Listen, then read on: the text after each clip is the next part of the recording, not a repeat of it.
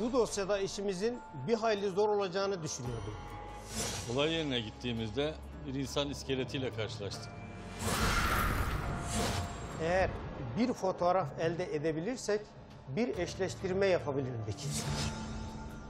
Bizi daha da çaresiz bırakan parmak izi sahibinin arşivimizde kaydı olmamasıydı.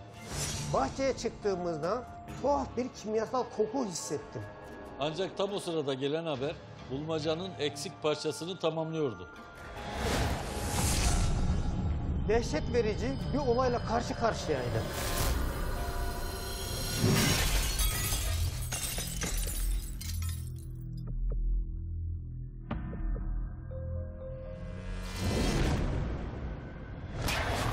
Bulunamayan cesetler. İz bırakmayan suçlular. Görünmesi en zor deliller. İşte bunlar dedektiflerin karşılaştıkları en zorlu durumlardır. Her delil mutlaka önemlidir. Ancak öyle kritik bir delil vardır ki dosyanın seyrini değiştirir ve sizi suçluya götürür. En zorlu dosyaların kırılma noktası ve olayların aydınlatılması işte bu kritik delilin gücüyle ölçülür.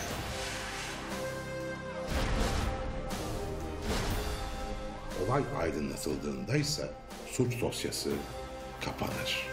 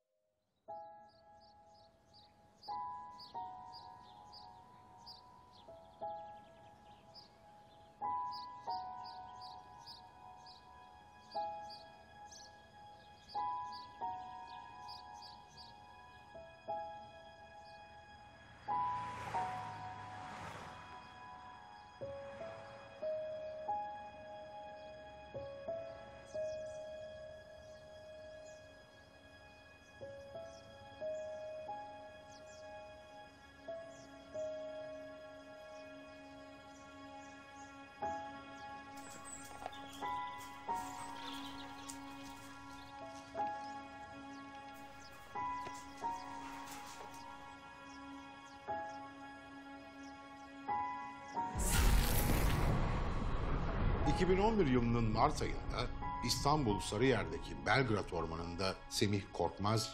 ...bir insana ait olduğunu düşündüğü kemik parçalarını fark edince hemen polisi aradı. Mesleğinde oldukça tecrübeli iki cinayet büro dedektifi bu olayın ardındaki gizemin aydınlatılması için görevlendirildi. Olay yerine gittiğimizde bir insan iskeletiyle karşılaştık. Bu gibi durumlarda mutlaka etrafı inceleyerek delil toplamaya çalışırız. Bu dosyada işimizin bir hayli zor olacağını düşünüyordum. İlk incelemelerimde maktulün kafatasında çatlak, elmacık kemiğinde kırık olduğunu fark ettim. Olayın yaşandığı tarihten cesedin bulunduğu ana kadar tahminimize göre bir yıldan fazla süre geçmişti. Bu geçen süre işimizi zorlaştırabilirdi. Normal şartlarda çürüme yaklaşık bir, bir buçuk sene içerisinde son bulur ve geriye sadece kemikler kalır. Bu olayda çürüme tamamlandığı için maktulün yaklaşık bir buçuk sene önce o alana gömüldüğünü düşünüyordum. Bu nedenle aradığımız delillerin kaybolma, hasara uğrama ihtimali bir hayli yüksekti. Olay yerine çağrılan adli antropoloğun refakatinde ekipler saatler süren titiz bir çalışma sonucu yaklaşık 20 kemiği toprak altından çıkardı. Ayrıca cesedin çevresinde çürümeye yüz tutmuş iç çamaşırı, kırmızı tişört, parçalanmış kot, kolye ve 36 numara ayakkabı bulundu. Şüphelerimiz bunun bir cinayet olduğu yönündeydi. Ayrıca maktule ait olduğunu düşündüğümüz toprak altından çıkan kolye, cinayetin hırsızlık nedeniyle işlenmediğini gösterir nitelikteydi. Olay yerinde bulduğumuz eşyalar maktulün bir kadın olduğunu gösteriyordu. Ayrıca kemiklerin bulunduğu ormanlık alanda yürüttüğümüz incelemede dikkat çekici bir ipucuna ulaştık. Çalılıkların arasında aynı kemikler gibi bir kısmı gün yüzüne çıkan bir satır tespit ettik. Kemiklerin yakınında böyle bir satırın bulunması olayla alakalı olabileceğini gösterirdi. Ama bu iddiamız ancak laboratuvar incelemesinden sonra kesinlik kazanabilirdi. Dedektifler ilk incelemelerinde maktulün öldürülmeden önce şiddete maruz kaldığı düşüncesindeydi. Olay yerine davet edilen adli antropolog gözetiminde özenle tasniflenen kemikler ve satır incelenmek üzere laboratuvara gönderildi. Gerçeklerin günün birinde ortaya çıkmak gibi kötü bir huyu vardır. Polisiye ve gotik hikayelerin ünlü yazarı Edgar Allan Poe bu cümleyi yaklaşık 150 yıl önce kurdu. Bugün gelişen teknolojiden yararlanan kriminoloji artık olayları çok daha hızla aydınlatabiliyor. Öyle ki 1980'li yılların sonuna kadar DNA eşleştirmesi yapılamazken şimdilerde bir saç telinden yaş, cinsiyet, hatta göz rengi bile tespit edilebiliyor. Bulunan kemik parçaları ve maktule ait olduğunu düşündüğümüz kişisel eşya laboratuvarda incelenmeye başlandı. Tahribata uğramış giysilerde DNA tespiti oldukça güçtür. Bu işlem için ekiviyonlu bir çubuk nemlendirilerek tişörtteki lekeye sürülür. Eğer giysilerde meni olursa ekiviyonlu çubuğun pamuklu kısmı mor bir renge dönüşecektir. Giysilerde men izine ulaşılmadı. %100 emin olmasak da maktulün cinsel istismara uğramadığını düşünüyorduk. Adli antropoloji, insan iskeletlerinden biyolojik profil oluşturma bilimidir. Adli osteoloji yani iskelet bilimi ve yeniden yüzlendirme alanlarında uzman olan Özsoy, bulunan kemiklerle ilgili dedektiflere somut bilgiler vermek için çalışmalarına başladı. Adli antropolojinin görevi kemiklerin incelenmesiyle kişinin kimliğinin belirlenmesi, ölüm nedeninin ve zamanının tespit edilmesidir. Bu çalışma sonucu olayın yaklaşık iki sene önce gerçekleştiği sonucuna ulaştık. Cinsiyet tespitinde ise leğen kemiği ve kafatası belirleyici olur. Çünkü kadındaki pelvis boşluğu erkeğe nazaran yana doğru geniş ve oval biçimdedir. Bu incelemede maktulün bir kadın olduğunu rahatlıkla söyleyebiliyorduk.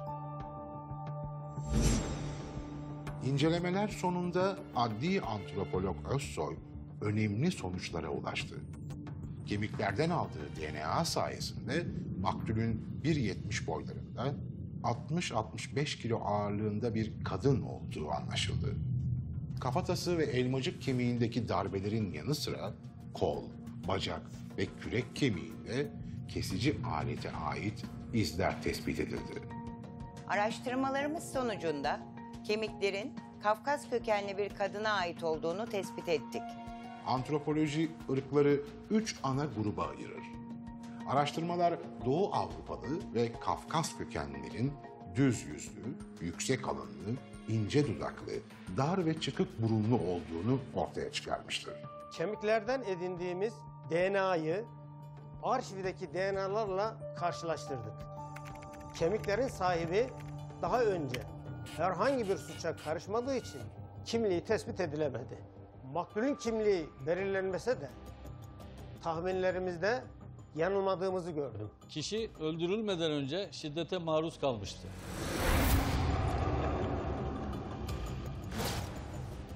Eğer bir fotoğraf elde edebilirsek en azından kayıp ihbarlarına bakarak bir eşleştirme yapabilirdik. Antropolojide kimlik tespiti için farklı metotlar kullanılmaktadır.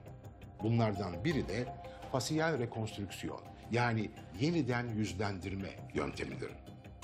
Kafatasının modellenmesiyle maktulün nasıl bir yüze sahip olduğu ortaya çıkarılabilir. Bu yöntem Türkiye'de son yıllarda kullanılan tekniklerden biridir. Fasyal rekonstrüksiyon işlemine adli antropolog ve bir de sanatçı girer. Önce kafatası temizlenir, eksik kemikler, varsa bal mumu ile bu alanlar kapatılır. 21 frekans noktası iğnelerle belirlenir, kili kafatasına sürerek matematiksel formüllerle yüz hatları belirlenir. Yeniden yüzlendirme çalışmalarında kişinin gerçek yüz hatlarına yüzde 90 oranında ulaşılır.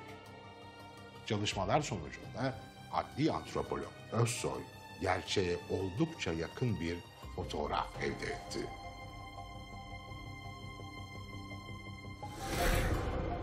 Elimizdeki fotoğraftan yola çıkarak 2009-2011 yılları arasında İstanbul'da kayıp ihbarı yapılan yabancı uyruklu kadınları süratle araştırmaya başladık. Cinayet Büro dedektifleri Ufuk Tanju Güven ve Naci Baybur bu iki yıllık döneme ilişkin kayıp şahıslar büro amirliğinde yabancı uyruklu kadının kimliğini tespit etmeye çalışırken diğer taraftan ormanlık alanda bulunan satır da yakından incelenmekteydi. Kemiklerdeki darbeye bağlı izleri tespit etmek için mikrosil adı verilen bir yöntemi uygularız. Bu yöntem kurbana nasıl bir aletle saldırıldığını ortaya çıkarır. Bu işlem için kemikteki namlu darbesini bir macuna çıkararak kurumasını bekledik.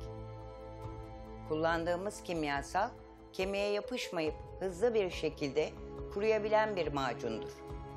Kuruyan macunu kemik üzerinden aldık. Böylece satırın namlusundaki kesici iz üç boyutlu olarak macuna çıkarılmış oldu. Kemikteki darbe izleriyle satırın namlusunu karşılaştırmaya başladık. Tahminlerimiz doğru çıktı. Ormanlık alanda bulunan satırla dökümünü aldığımız macundaki izler eşleşiyordu. Bu sayede satırın cinayette kullanıldığını bilimsel olarak kanıtlamış olduk. Eğer cinayet aletinin üzerinde parmak izi tespit edebilirsek katil ya da katillere ulaşmamız kolaylaşacaktı. Kabze kısmında belli belirsiz parmak izleri vardı. Ancak satırın iki sene boyunca ormanlık alanda tahripata uğraması bu izlere tam olarak ulaşmamızı engelliyordu.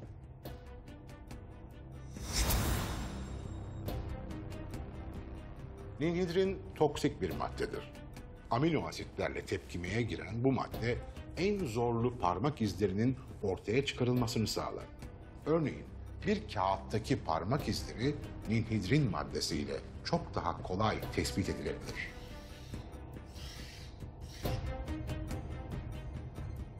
Ultraviyole ışık altında satırın kabzasına sıkılan ninhidrin parmak izlerinin gün ışığına çıkmasını sağladı.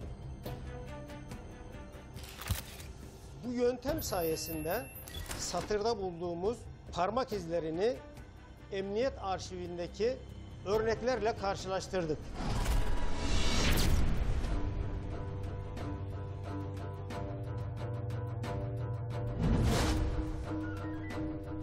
Dedektifler olaydaki soru işaretlerinin dağılabilmesi için önemli ipuçlarına ulaştı. Ormanlık alanda bulunarak yüz modellemesi yapılan kadının kim olduğunu tespit edebilmek için 2009-2011 yılları arasındaki kayıp ihbarlarını incelemeye devam eden dedektifler diğer yandan satırdan çıkan parmak izinin sahibini de araştırmaya başladı. Modellenen yüz Azerbaycan doğumlu. 2006 yılından beri İstanbul'da yaşayan Mehriban Maksakova Şenal isimli kadına oldukça benziyordu. 20 Mart 2009'da Akın Şenağıl isimli şahsın eşine ulaşamaması üzerine kayıp şahıslar büro amirine başvurduğunu öğrendik. Görüşmeye gitmeden önce mutlaka kişi hakkında ön bilgi toplarız. Bu aşamada Akın Şen Ağal'ın Mart 2009'da eşinin kaybolmasının ardından Şubat 2011'de babası Mehmet Şen Ağal'ın kaybolduğu bilgisini edindik. Bu tesadüf olmayacak kadar şaşırtıcıydı. O döneme ait raporları incelediğimizde şahsın karısıyla sık sık tartıştıklarını da fark etmiştik.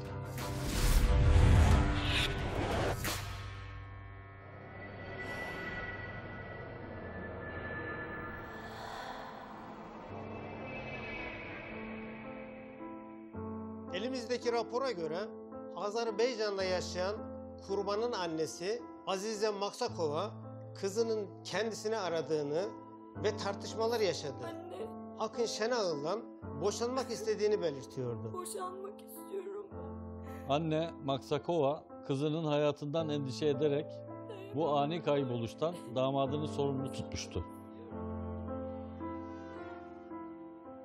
O dönem anne Azize Maksakova'nın ifadeleri doğrultusunda emniyet güçleri şüpheli gördükleri Akın Şenağlı aylarca fiziki ve teknik takibe aldı.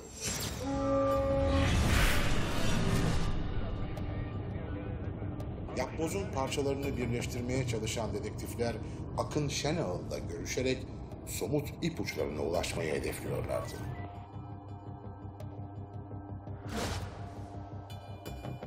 Akın Şenağıl 43 yaşında işine kapanık, çekingen bir adam izlenimi veriyordu. Bu fotoğraftaki Yüz modellemesi yapılan Mehriban Şenağıl'ın fotoğrafı ve ormanlık alanda bulunan eşyayı Akın Şenağıl'a gösterdik. Karısının kaybolmasına ilişkin bildiklerini anlatmasını istedik. Mehriban Maksakova 2006 senesinde öğrenci olarak bulunduğu Rusya'da iş için Moskova'ya gelen Akın Şenal'la tanıştı. Aşık olduğu adam için Türkiye'ye yerleşti ve ertesi sene İstanbul'da şık bir düğünle evlendiler.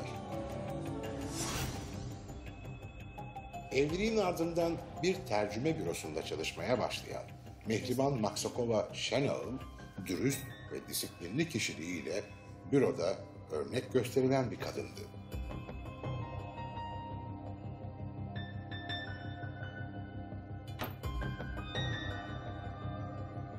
Akın Şenağıl'ın bir mühendislik şirketi vardı ve karısının kaybolduğu 20 Mart 2009 Cuma günü ofisindeydi.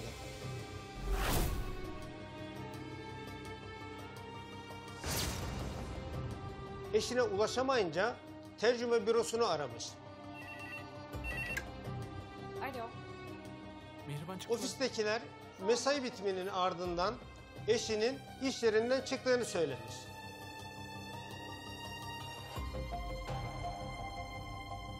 Akın endişelenerek birkaç tanıdığına daha telefon açtıysa da Burcu. karısının nerede olduğunu bir türlü öğrenemedi. Saat 23 sularında polise gitmeye karar verdi.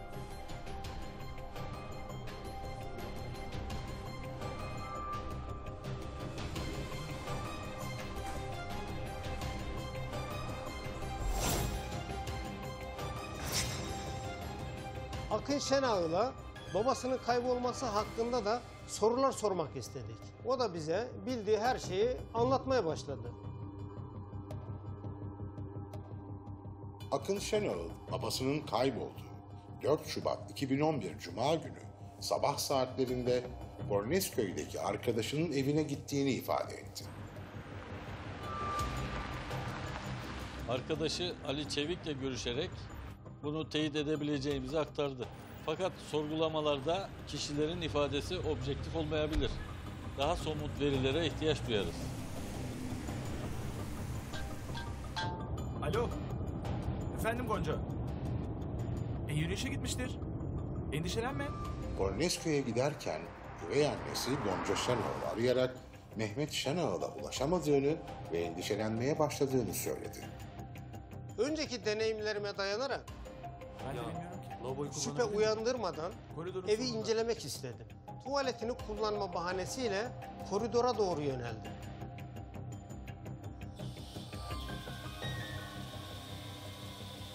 tek diş fırçası, çift kişilik yatakta kafa izi olan tek yastık. Bunlar Akın'ın yalnız bir hayat yaşadığını gösteriyordu. Mutfağa girdiğimde ise masanın üzerindeki antidepresan dikkatimi çekti.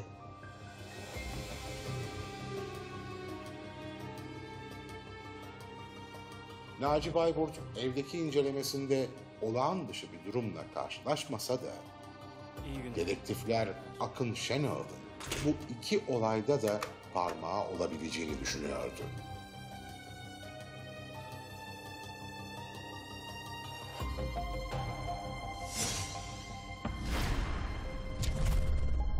Mehmet Şenağıl ve Mehriban Maksakova Şenağıl dosyaları birbiriyle alakalı mı?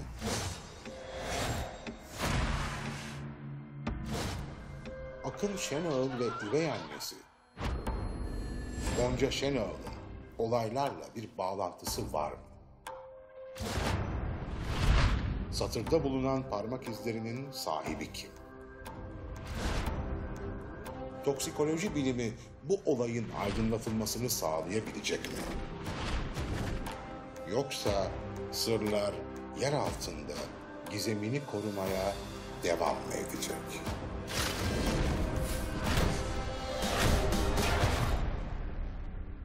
Birazdan.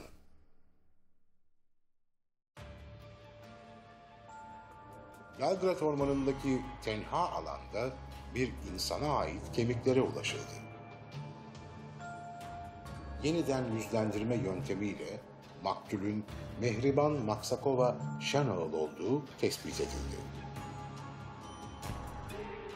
Dedektifler son dönemde sık sık karısıyla tartışma yaşayan ve babası da kayıp olan Akın Şenağıl'ı şüpheli olarak görüyor.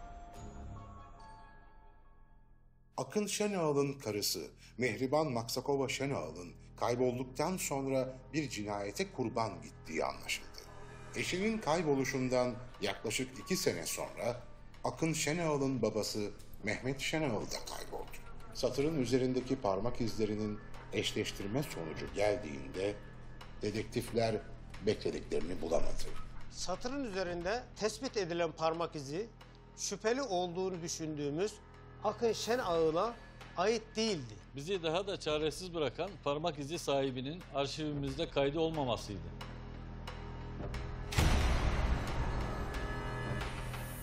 İhtimalleri değerlendirdik.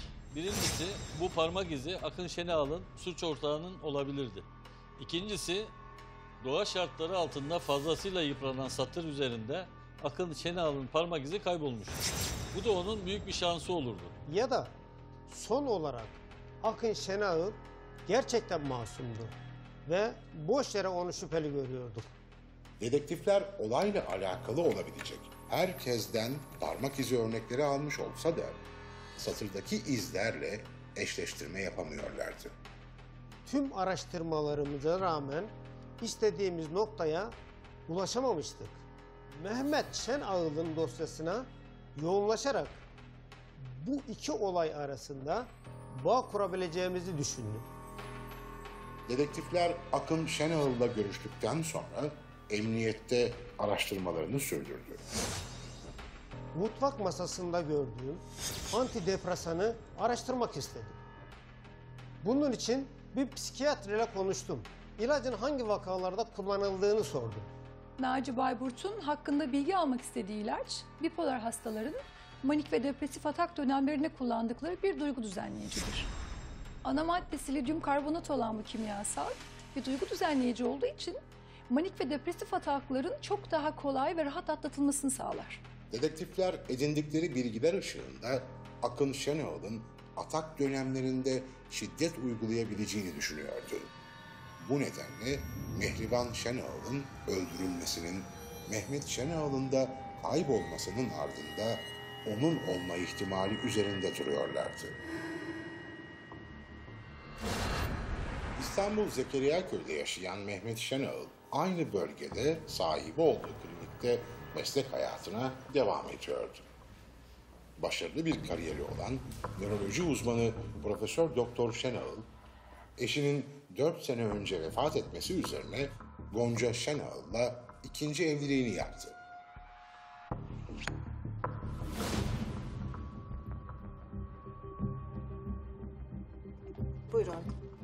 Teşekkürler Gonca. Zahmet oldu. Geçmiş olsun. Ah önemli bir şey değil. Malum mutfak kazaları. Gonca Hanım giriş Gonca 40 yaşlarında oldukça bakımlı bir kadındı. Kocasının kaybolmasından dolayı oldukça üzgün gözüküyordu. Cana yakın, bilgi paylaşan, eğitimli bir kadın izlenimi veriyordu. Gonca Şenol 4 Şubat 2011 sabahı saat 9 sularında uyandığında eşi Mehmet Şenol'un evde olmadığını fark etti. Mehmet Şenol her sabah 7.30'da kalkarak yürüyüş yapıyor, duşunu aldıktan sonra da 10 gibi kliniğe gidiyordu.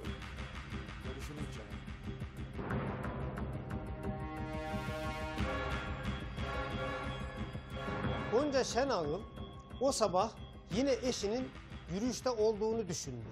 Ama kocasının eve dönmemesi üzerine telaşlandı.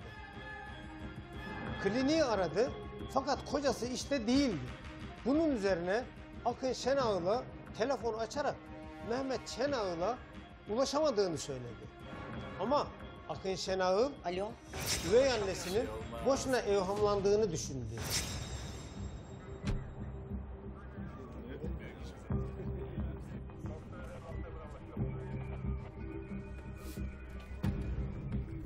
Ve Gonca Şenağıl 15 sularında polise başvurdu.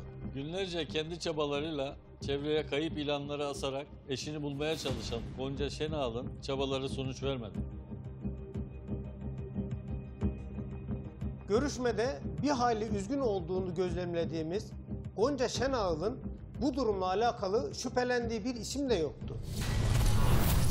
Kayıp vakalarında ilk 10 gün oldukça kritiktir. Kişi genel olarak bu süre zarfında ortaya çıkar ya da bulunur.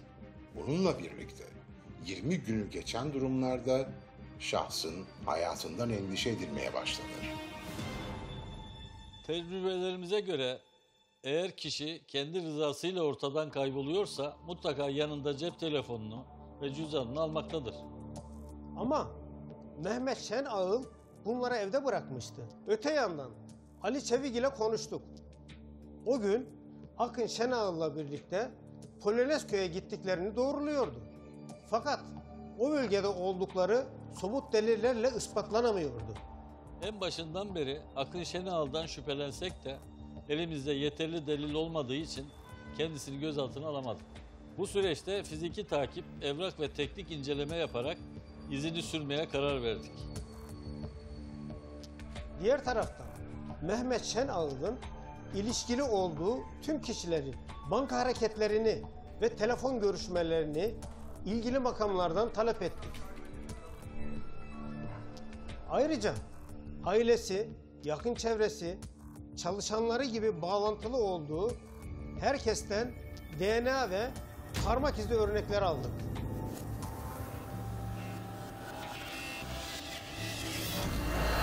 Dedektiflerin aklındaki birinci soru Mehriban ve Mehmet Şenağıl olaylarının birbiriyle bağlantılı olup olmadığıydı. Mehriban Şenağıl'ı kimin öldürdüğü henüz ortaya çıkarılamazken dedektiflerin eline ulaşan bir bilgi soruşturmadaki soru işaretlerini daha da arttırdı. Gonca ve Akın Şenağıl'ın telefon kayıtlarında Serhat Tezcan adında biriyle görüştükleri tespit edildi. Bunun üzerine dedektifler Gonca ve Akın Şenağıl'ın Serhat Tezcan'la nasıl bir ilişki içerisinde olduğunu araştırmaya başladılar. Serhat Tezcan 42 yaşında boya ve kimyevi malzemeler üreten ve benzer ürünler ithal eden bir iş adamıydı. Öncelikle Gonca Şenal'a giderek bu kişi hakkında bilgi almak istedik.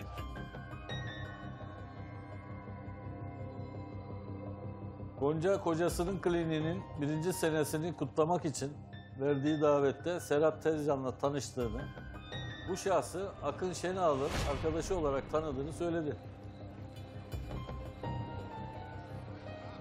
Onca Şenağıl Serhat Tezcan hakkında çok fazla bilgi sahibi değildi.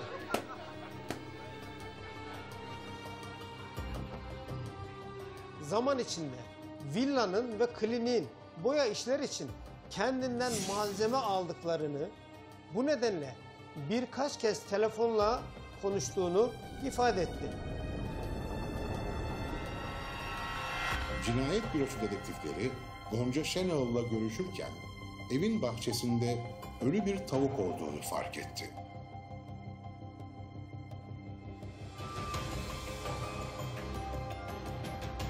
Tavuğa bakmak için bahçeye çıktığımızda tuhaf bir kimyasal koku hissettim.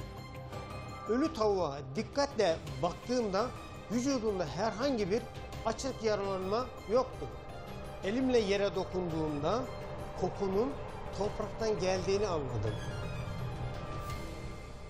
Kümese yaklaştığım zaman bu ağır kokunun arttığını hissettim.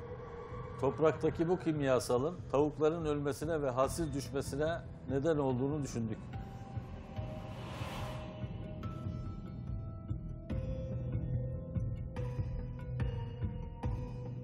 Tavuğu laboratuvarda inceletmek için yanımıza aldık. Telefon kayıtlarında ismine denk geldiğimiz Serhat Tezcan'ın kimyevi ürünleri imal eden bir fabrikası vardı. Bahçedeki ağır kimyasal kokunun bu şahısla alakalı olabileceğini düşünerek kendisiyle görüşmek istedik. Serhat Tezcan'a telefon açarak ifadesine başvurmak üzere emniyete davet ettik. Serhat Tezcan diksiyonu düzgün, nazik, giyimine özen gösteren bir adam izlenim veriyordu.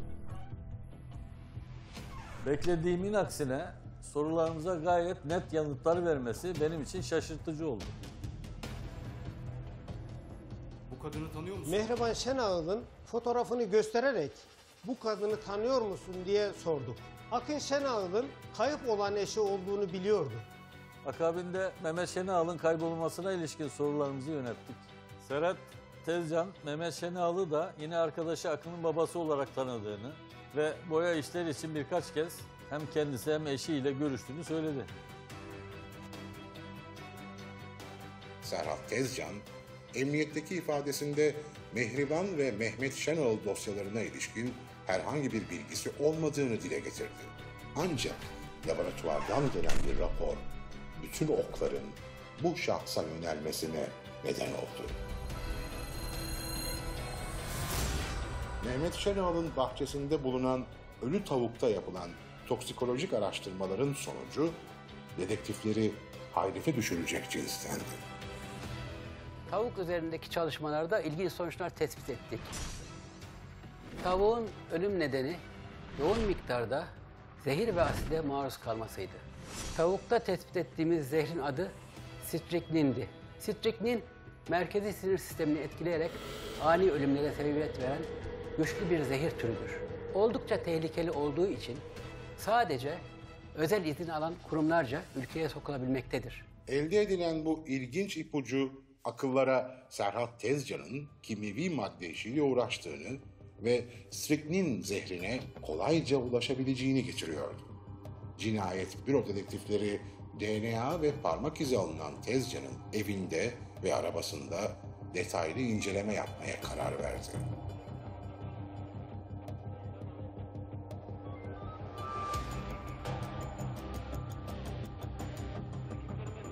Şahsın evindeki incelemelerde tespit edilen en dikkat çekici şey strychnin zehriydi. Tavuğun ölümüne neden olan bu zehrin Tezcan'ın evinde de bulunması oldukça garip bir durumdu. Bu çarpıcı gelişmeyle birlikte Serhat Tezcan ismi bir anda şüphelerimizin odak noktası oldu. Şüphelerimiz doğrultusunda kümesin bulunduğu bölgede hemen bir kazı yapılmasına karar verdik. Mehriban ve Mehmet Şenol dosyalarında önemli mesafe kat eden cinayet büro dedektifleri kazı yapılacak alana doğru yola çıkarken kendilerini bekleyen, tüyler ürpertici gerçeği öğreneceklerdi.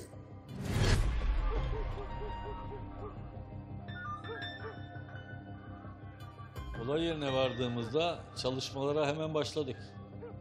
Gergin bekleyiş sürerken toprağa kazdıkça ağır kimyasal koku daha da artıyordu. Kümesin altını 2 metre kadar kazdığımızda ise kanımızı donduran gerçekle yüzleştik. Kümesin altında erimiş kemik parçaları bulduk. Dehşet verici bir olayla karşı karşıyaydık. Tahminlerimizden yola çıkarak kemiklerin Mehmet Şenağıl'a ait olduğunu düşünmeye başladık. Bu nedenle toprağın altından çıkarılan erimiş kemik parçalarının incelenmesi için adli tıp kurumuna gönderdik. Soruşturmada önemli bir dönüm noktasına gelinirken laboratuvardan çıkacak sonuçlar dosyanın akıbetini belirleyecekti. Bu sırada şüphelerin odağındaki Serhat Tezcan'ı daha da köşeye sıkıştıracak Mehriban Maksakova Şenağıl cinayetine ilişkin çok çarpıcı bir rapor dedektiflerin eline ulaştı.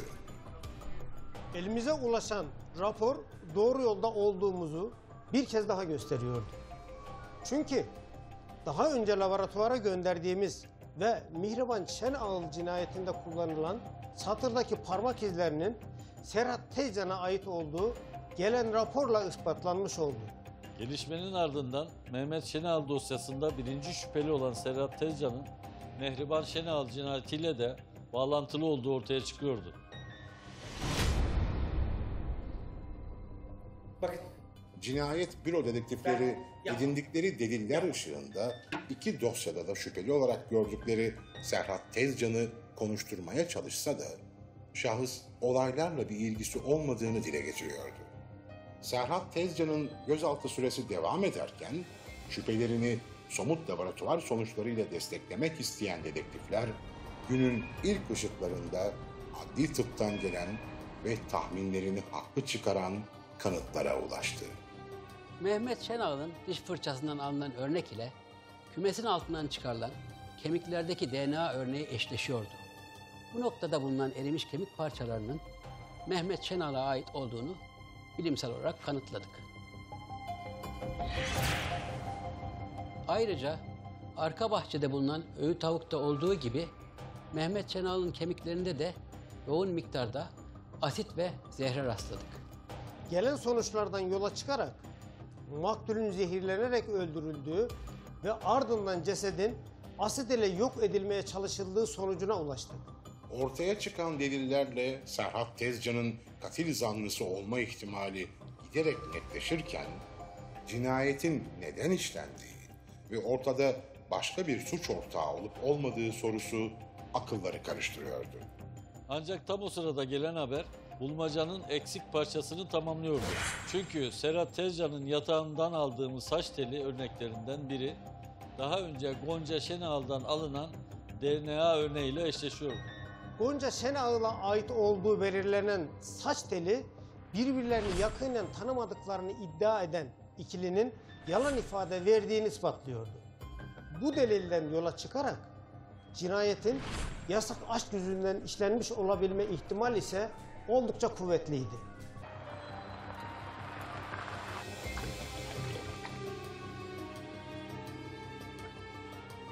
Serhat Tezcan'ın yatağında saç telinin çıkması üzerine Gonca Şenol ifadesi alınmak için emniyete götürülürken ekipler evin birçok noktasında detaylı bir araştırmaya başladı.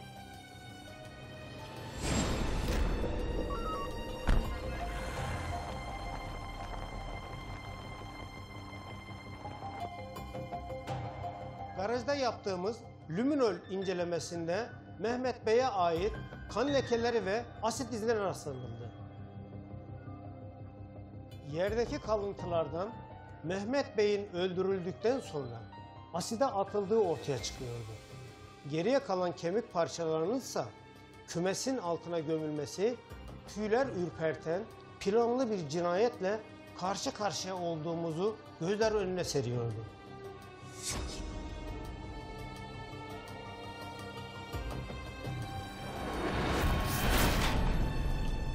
Her geçen saniye daha da belirginleşen suç dosyası ardı ardına ortaya çıkan delillerle yeni bir boyut kazanıyordu. Soruşturmaya dahil olan ikinci şüpheliyle olayların seyri değişmiş olurken cevaplanması gereken son soru Mehmet ve Mehriban Şenağıl'ın neden öldürüldüğüydü. Emniyette çapraz sorguya alınan Gonca Şenağıl ve Serhat Tezcan ortaya çıkan bu deliller neticesinde iki dosya hakkındaki bütün gerçekleri anlattılar. Ve sevgilimle birlikte yaptık bunu. Gonca Şenağıl ve Serhat Tezcan davette tanıştıktan sonra gizli gizli görüşmeye başladı.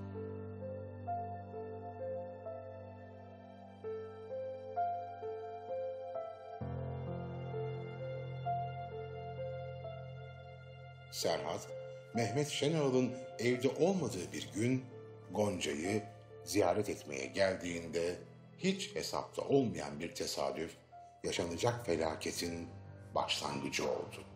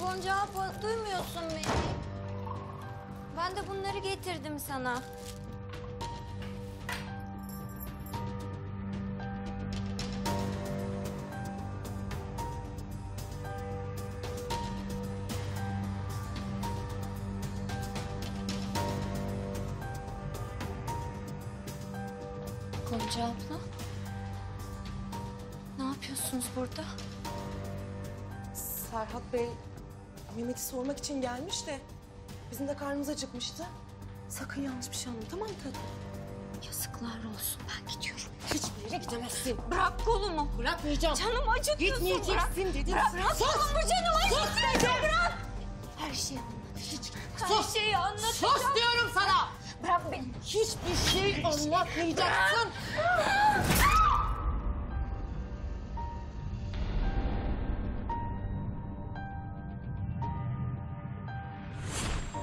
anlık panik ve öfke sonucu Mehriban Şenağıl olay yerinde can verirken yaşanan dehşet verici olay dönüşü olmayan bir kabusun başlangıcı oldu. Serhat Tezcan ve Gonca Şenağıl arkalarında iz bırakmamak için olay yerini temizledikten sonra Mehriban Şenağıl'ın cesedini gömmek için uygun bir yer aramaya başladılar talihsiz kadının cansız bedeni 2009 yılının 20 Mart gecesinden kemikleri bulunana kadar derin bir sessizliğe gömüldü. Serhat Tezcan ve Gonca Şenağlı huzursuz eden endişe başka bir cinayetin sinyallerini vermeye başladı. Serhat Tezcan'ın son dönemde işleri iyi gitmiyordu. Üstelik yıllardır gizli olarak yaşanılan bu ilişki iki tarafı da çok yormuştu. Aralarındaki yasak ilişkinin öğrenilmesi durumunda işledikleri acımasız cinayetin de ortaya çıkacağı korkusunu taşıyorlardı. Kendileri için en doğru kararın Mehmet Şenağıl'ı ortadan kaldırmak olduğunu düşünen sevgililer, Gonca Şenağıl'a kalacak miras sayesinde yaşamlarına yeni bir sayfa açacaklardı. Gonca Şenağıl her gece kocasına içeriğinde heparin olan kan sulandırıcıyı vuruyordu. Ama o gece 23.30 sularında kan sulandırıcı yerine Serhat Tezcan'ın bu cinayet için yurt dışından özel olarak getirttiği striknin zehrini kocasına enjekte etti. olasın. Sağlıklı bir insanın 20 dakika içinde solunum yetmezliğinden ölmesine yol açan bu zehir etkisini süratle gösterdi. Tamam, hallettim.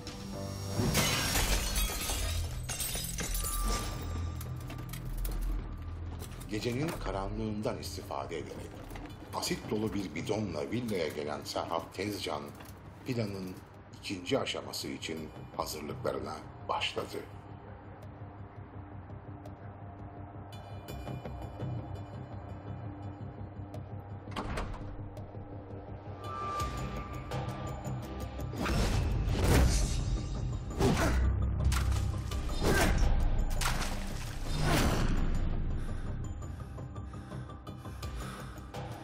Serhat Tezcan, Mehmet Şenoğlu parçalara ayırdıktan sonra asit dolu bidonun içine atarak erimesini bekledi. Birkaç saat içinde Mehmet Şenoğlu'dan geriye sadece birkaç küçük kemik parçası kaldı.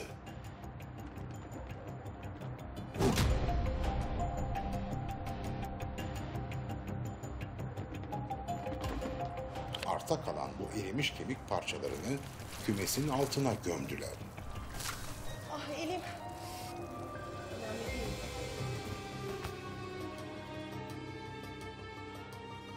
Çözülmesi imkansız gibi görünen bu suç dosyası, olayı takip eden dedektiflerin titiz çalışması ve kararlılığı sayesinde kapanmış oldu.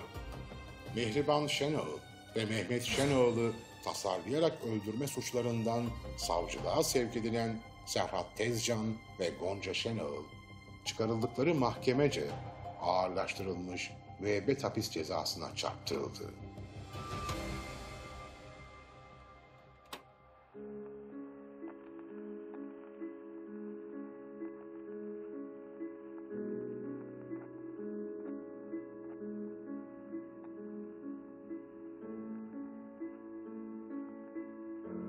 Tarihler 11 Ağustos 1941'i gösterdiğinde Paris Rue Le Sueur 21 numaradaki konağa polisler baskın yaparak Doktor Marcel Petit'o'yu gözaltına aldılar.